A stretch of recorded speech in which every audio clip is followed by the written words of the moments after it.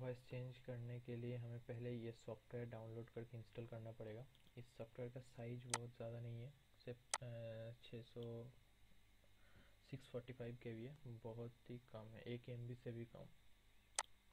तो इसको turn on करने के बाद इंस्टॉल करने के बाद जब आप इसको टर्न ऑन करेंगे तो आपके यहाँ माइक्रोफोन के अंदर से जो भी आवाज़ पास होगा, उसका वॉइस चेंज हो जाएगा पूरा।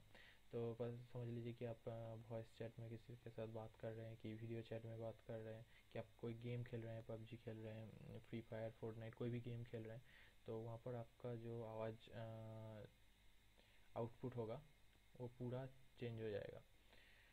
तो अभी इसको आपको यहाँ पर नेक्स्ट नेक्स्ट करके इंस्टॉल कर लेना है। उसके बाद जो थर्ड नेक्स्ट के बाद आपके पास ऑप्शन आएगा। यहाँ पर जो ऑडियो ड्राइवर है, ये रिस्टार्ट होगा। तो तभी आपको एक परमिशन मांगेगा कि येस स्कीप एंड इग्नोर आपको लास्ट में इग्नोर दिखेगा तो आपको इग्नोर कर देना है। तो उसके बाद ये इंस्टॉल हो जाएगा। इंस्टॉल हो जाने के बाद यहाँ पर ये जो डेस्कटॉप आइकन है, ये क्रिएट हो जाएगा। तो आपको यहाँ पर जाके ओपन करके सेट वॉइस चेंजर में जाना है। उसके बाद आप देख सकते हैं कि यहाँ पर बहुत सारा मोड दिया हुआ है।